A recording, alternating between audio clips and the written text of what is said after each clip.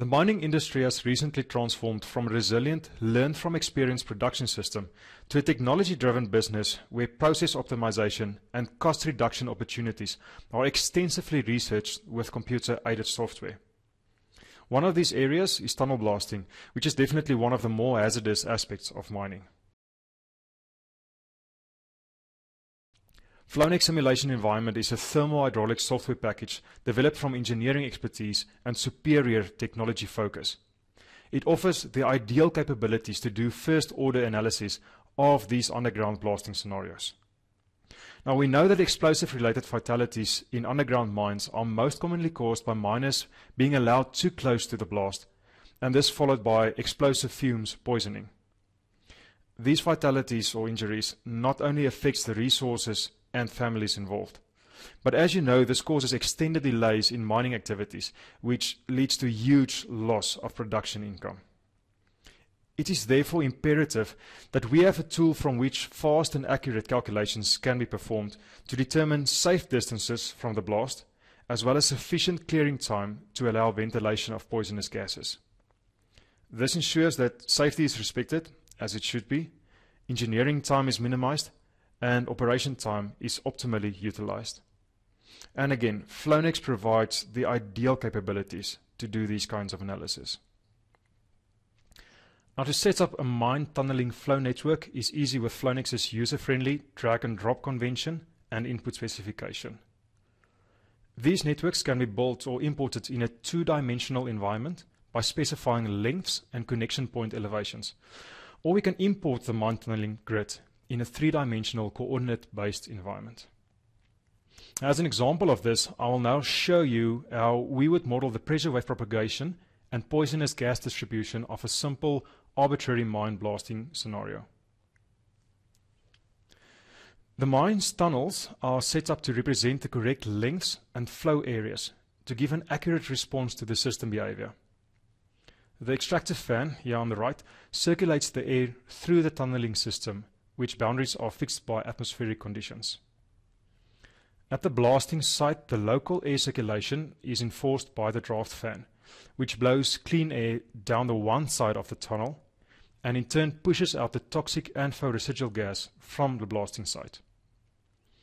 The blast itself is simulated with an instantaneous release of ANFO residual gas with a mass roughly equal to the weight of the explosives and a gas temperature of 500 degrees centigrade.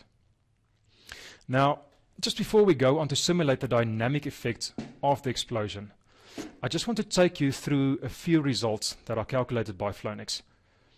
So I'm just going to do a steady state simulation before the blast occurs. Okay.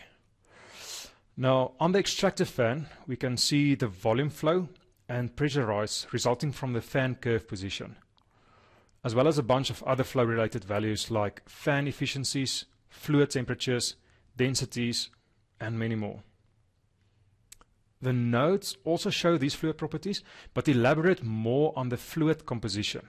Now, in this case, it's the mass relation of air and ammonia in the ANFO gas. Now, when we do a live simulation just now, we will use these results to investigate the pressure wave propagation and gas distribution throughout the tunneling system but we will just display them in a much more visible way. But we'll get to that.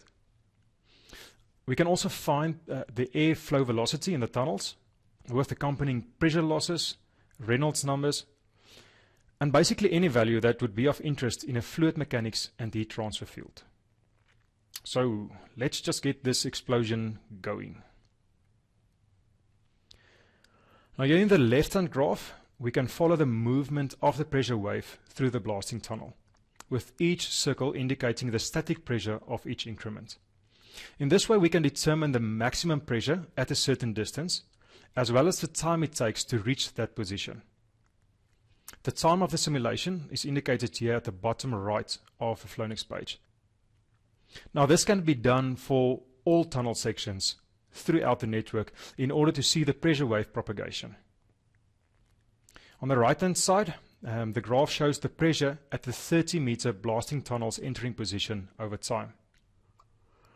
I've also set up a graph showing the ANFO gas concentration at the tunnel's entering position. And we can set this up for several positions throughout the mine to determine the time it would take to reach safe breathing conditions from a homogeneous approach. Another powerful feature of Flownex is the illustration of attributes using color masks over the Flownex components, as I've done here for the ANFO gas concentration on the nodes. Here I've set the upper color limit to a concentration of 50 ppm according to health and safety regulation specifications. And with this we can visually follow the degrading of ammonia concentration throughout the mining grid. Now, if I just reset the simulation and blow some rocks again, there we go. We can follow the pressure wave distribution throughout the grids according to the color map limits shown at the bottom of the screen in the result layers pane. And we can use this approach to scrutinize any fluid property during a steady state scenario or over time. And this was just a small network, but we've used Flownex successfully in modeling the entire cooling air supply to one of the deepest gold mines in the world. Many more investigations can be done for mining solutions using Flownex's powerful capabilities. So please feel welcome to contact one of the Flownex engineers from the website details or one of our Flownex resellers closest to you for more exciting information. May your roads be blessed, and I hope that we will hear from you soon.